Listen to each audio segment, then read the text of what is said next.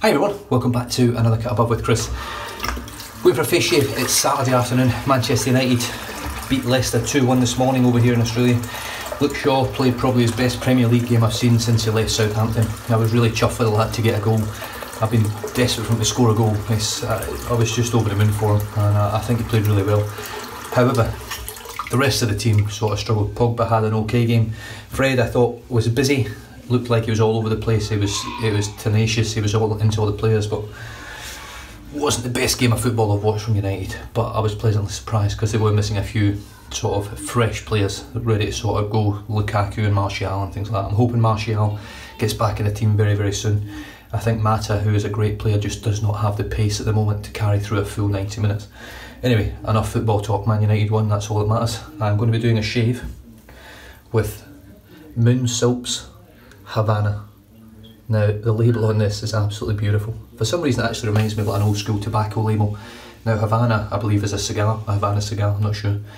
The scent on this does apparently have some, I think, tobacco in here. I cannot bloody remember, to be absolutely brutally honest with you. There is the company themselves, moonsoaps.com, and they are run by a husband and wife team, Zach and Melody. Zach and Melody. I think Melody, yeah, I'm sure it is. So Havana there, and then on the side here, as you can see, just on here, rendered in-house tallow formula. Now Zach, or Zachary, pretty sure Zach's okay, is a butcher or an ex-butcher of 24 years, I think he said. So all the tallow that goes into the soaps, he actually renders himself from the ribs of beef stock or the ribs of the cows.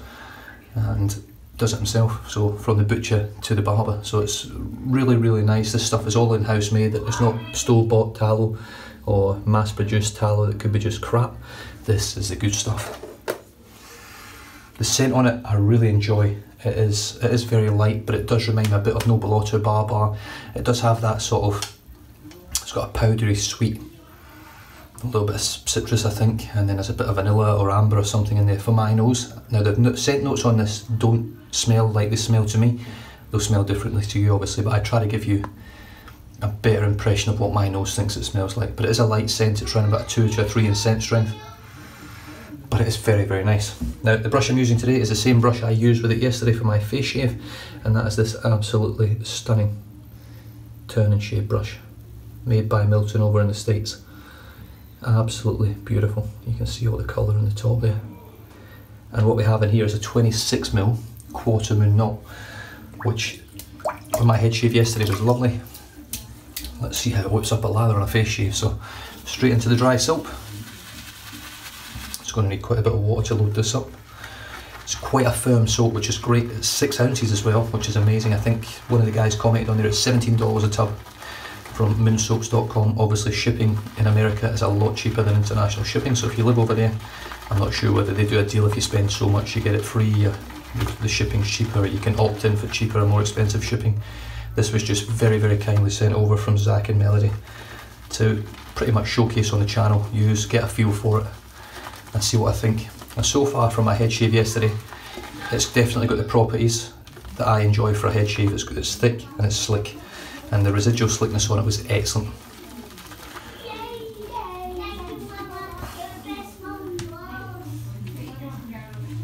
Right, so there is the brush all loaded up. Like the face.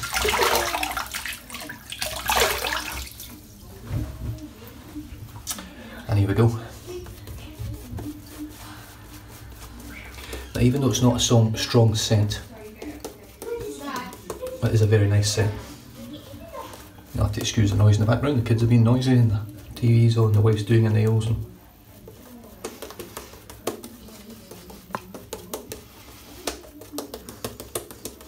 Right, let's paint some water in.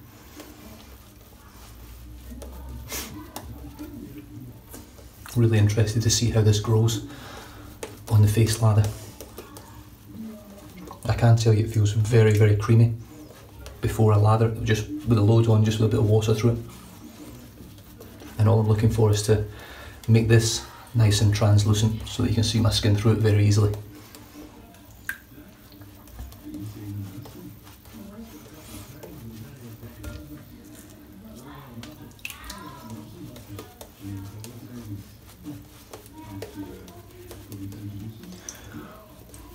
It's taking a lot of water. This knot's really soft. Beautifully soft tips. It's extremely similar to the knot that I've got in my Envy Shave brushes. More so the abalone brush. Right, I'm going to go with this for the last dip because this is taking an incredible amount of water and it's not going too translucent. You can see it is, but not as much as other soaps. So, oh, let's see how we go.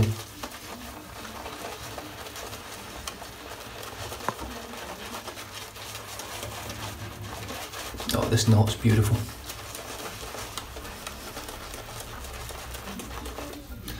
I just found out today that I sent one of my giveaway brushes to the wrong person. So someone, Jarrett, who won the Turn N Shave brush, was actually sent a West Coast shaving brush.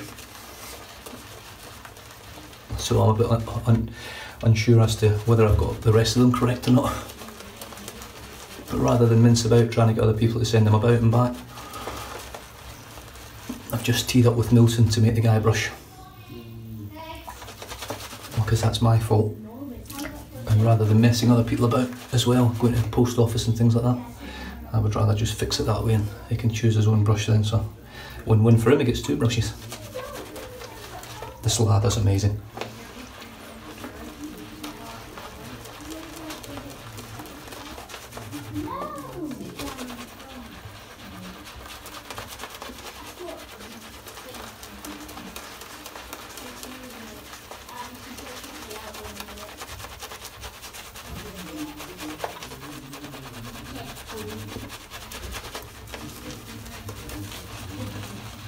Like,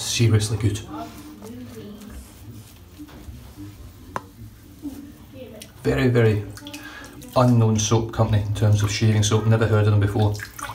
He just messaged me out of the blue on an email. Asking me if I'd be so kind as to just even have a look at his product and let him send it over and give it a go. Now,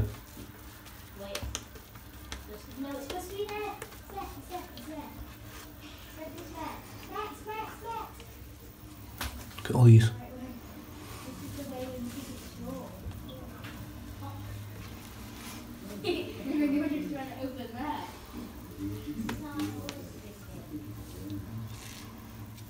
Seriously, what an amazing lather. Wow. Very easy to work with. It takes a lot of water. This is really dense, creamy lather.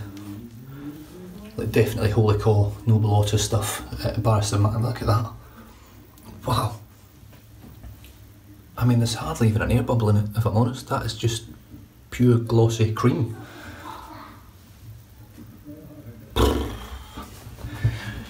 Right, someone mentioned, will the Rockwell blade be any good in the Karve Christopher Bradley razor? Let's find out.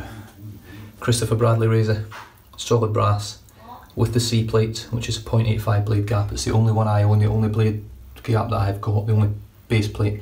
The rest of them are coming eventually, along with another surprise. So this water's gone really cold, so I'm just going to replenish it with some warm water.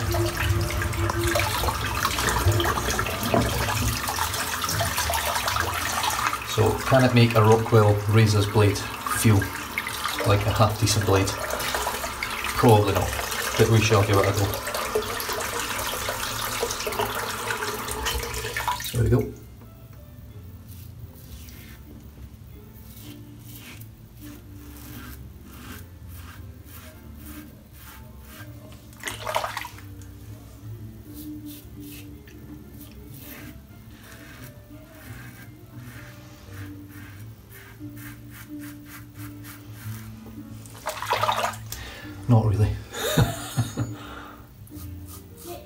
Shavable? Yeah, certainly but that's quite tuggy.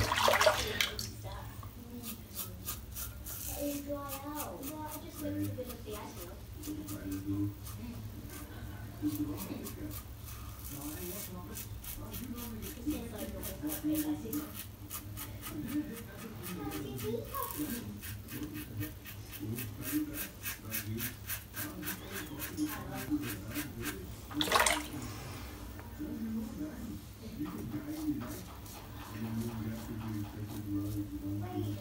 more refreshing than yours.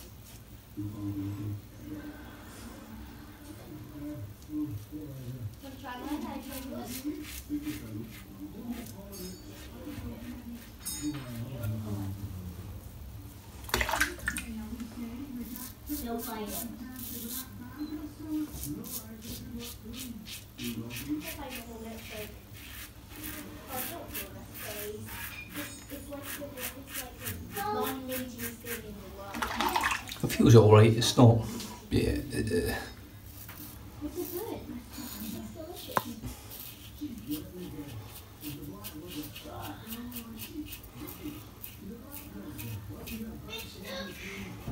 Look, it's made a blade that for me is a shit blade normally into a usable blade. But I will be honest, it's coming out right now and I'm putting a blade in that I enjoy. Residual slickness is spot on. The protection and the performance of the lather itself is spot on. Let's grab another blade.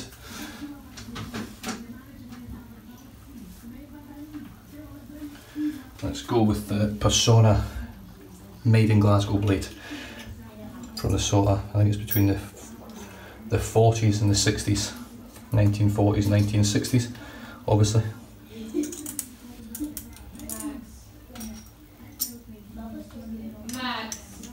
Right, so the blade I've just replaced it with is this, the Persona. These blades are made in Glasgow many moons ago, and here we go. Oh yes.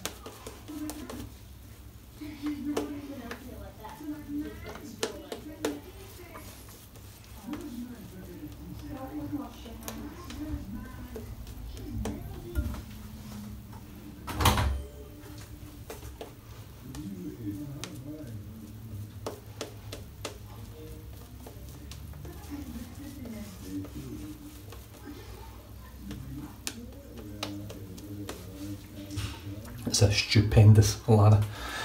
Okay, cross the grain with this vintage Persona. Oh, did I put the blade in? Don't feel nothing with these blades, they're just phenomenal.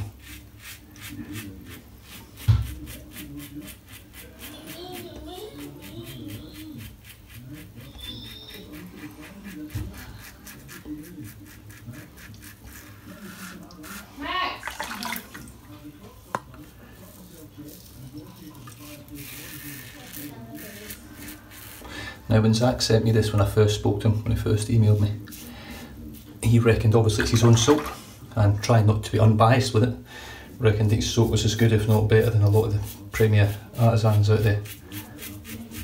Now, I don't know if it's something to do with the fact that he renders his own tallow. And it's like a premium tallow, I don't know.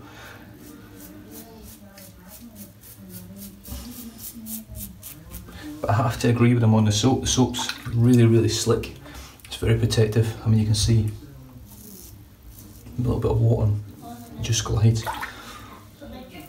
Overall, so far,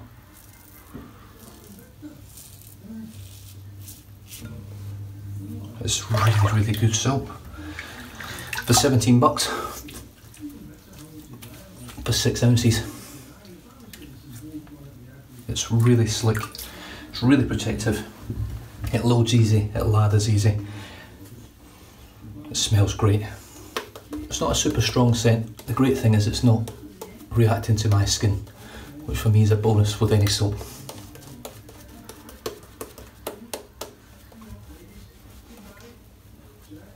Right, let's do the tips. Let's see how it grows again.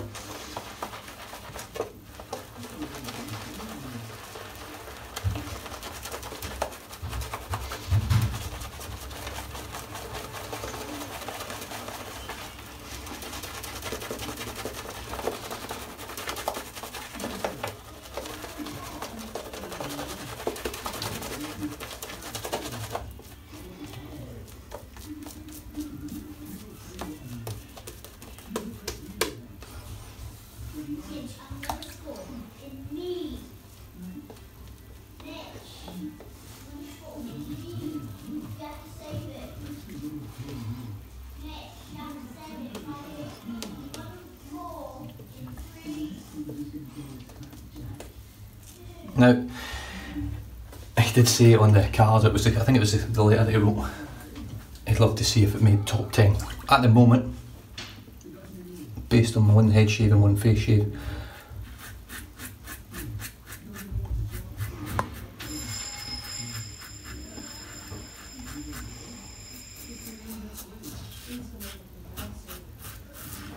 it's definitely a top five.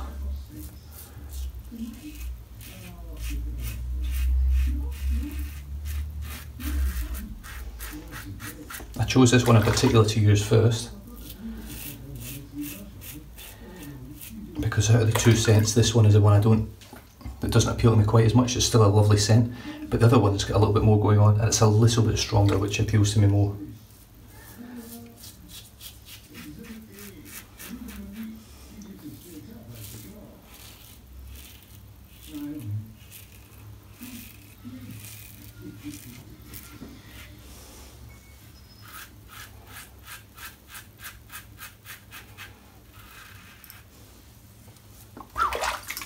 Superb.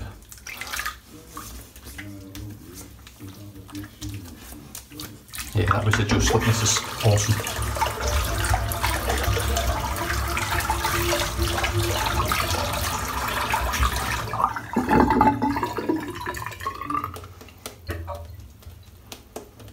Now, it's not a super strong scent, but you smell it during the whole shave.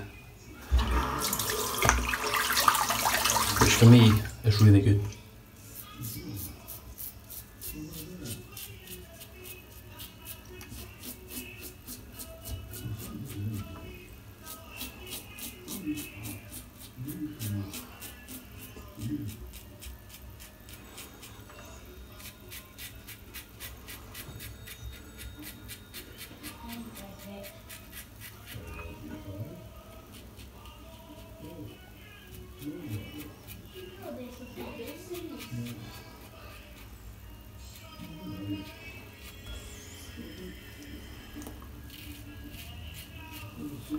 Superb.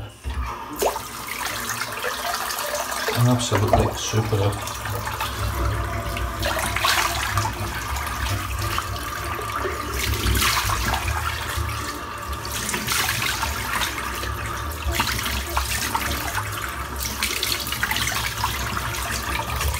Now, I'm just going to dry my face off.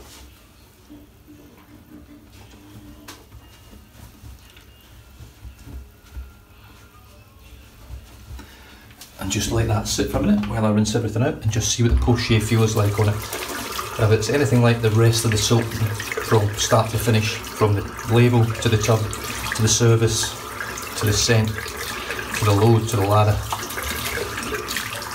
it's a really, really good quality soap. And definitely for the price, six ounces, that's the same, in fact there's 0.2 of an ounce more than what you get from Stirling soaps obviously a little bit more expensive.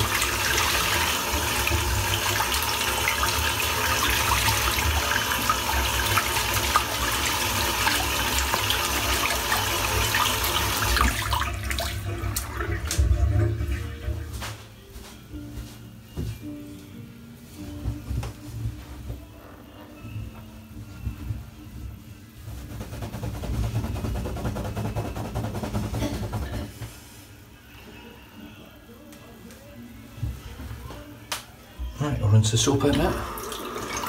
And that's an amazing shave. Got a little bit of rotation just here, right there. But to be honest with you, I think partly to do with the fact that I used the, the Rockwell blade, it wasn't very smooth if I'm honest. It was just better than it was in any other razor I'd used it, and I've only used it twice before, I think, from memory. So it is definitely better in the car, but if it's the only blade you had, yes, you would be able to shave with it. Oh, would it make me want to keep shaving with the DE? Probably not. Think you would get tired of it pretty quickly. Right, so post shave. Post shave feels as good as anything else. I can't really. It's getting to a point now where I can't discern whether something is better than another thing. It's very, very difficult. It's a very close call. But this, I've just used Face Fat. Then I've used, I've used Barrister Mann. I've used Stirling. I've used Phoenix and Beau. I've used Wickham. I've used Ariana and Evans, Holy cow! Holy Cow. I've used them all recently, very recently, and it's getting very difficult to pick between what's better. I do find this one here and Tallow and Steel, and what's the other one I've just recently used yesterday, even Face Fat, they're all very easy to load once you get the right load in the brush, and then the lather up really, really simply. You can't really go wrong with it. You can't not get a great lather from it. Now, a massive thing for me personally is the brush you use. If you're new to wet shaving, this style of traditional wet shaving, a synthetic brush, in my opinion, will, will yield a better lather, hands down, a better lather for an inexperienced person that's got no idea, they've never done it before, it's all new to them.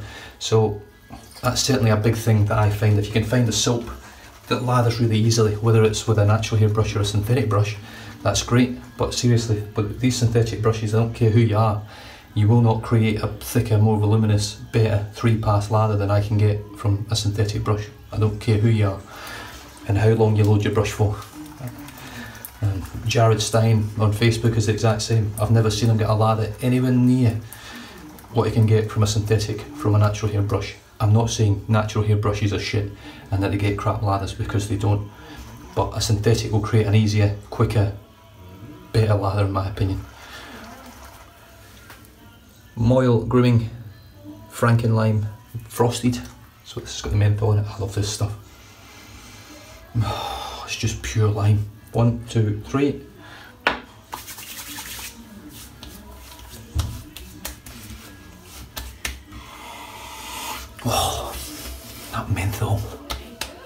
Sean, you're some man. I tell you what, it makes your eyes water. It is just the perfect amount of menthol. Now, like I said several times before, if you don't want the scent to be affected by the menthol scent, don't get it frosted. If you love menthol and you need it like I do, get it mentholated. In the summer, you will thank me endlessly for the whole summer if you get a frosted Maol Grooming aftershave splash. Right, well that is, oh, that menthol is just incredible. Moon Soaps Havana. Love the labels, love the tubs, six ounces of soap. It loads super, super easy. You can see how fatty that is. I think that's the fat, the sort of white and the, the clear. Six ounces of soap. Smells great. It really does smell nice. It's a very, very light, sort of citrus powdery. I, I can't really explain it. It's a bit of ambery, woodsy sort of scent. It's really nice. It is light, but you can smell it through the whole shave. I can assure you that. The, the scent changes under your nose as you're lathering up, so you're always smelling something, which I think is excellent for such a light scented soap. Normally you lose those light scents when you lather them up. The brush today was outstanding. Turn N Shave from Milton over in the States. The man makes flawless brushes in my opinion. There's not a single striation, scratch, chip, mark on this whole brush. It's just absolutely stunning. Stunning. The, the glitter, everything, just spot on. The Karve Christopher Bradley razor, solid brass, CNC machined in Canada. Best razor for me that I've ever used.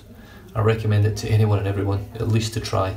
I have yet to come across someone that thinks it's utter shit or doesn't get on with it. Oh, I've heard people say it's not as good as the charcoal or the Wolfman or whatever.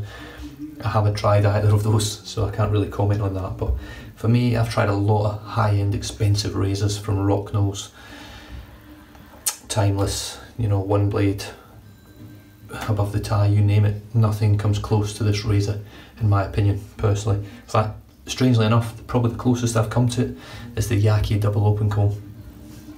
Crazy, eh? 20 odd bucks for a razor, and it's the closest I've come to the Karve.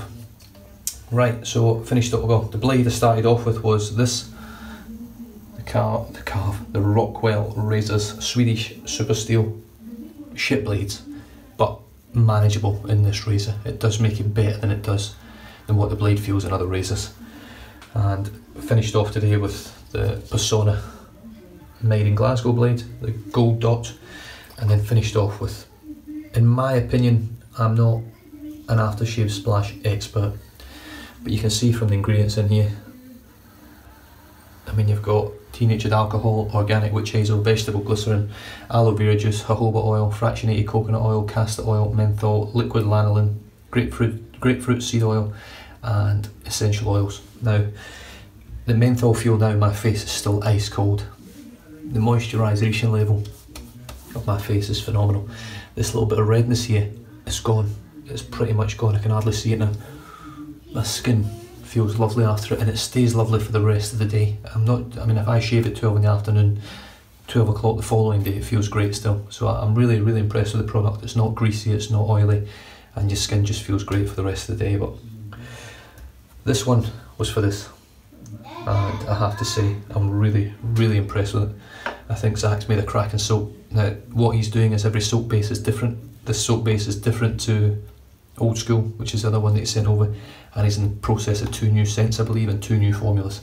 So he's not all about sticking to the same thing, he's trying to give you different bases to work with as well, which is awesome along with the scents. So that being said, stay safe, drive safe, don't drink and drive. Head over to moonsoaps.com, grab yourself a tub, and I'll catch you guys next time. Cheers.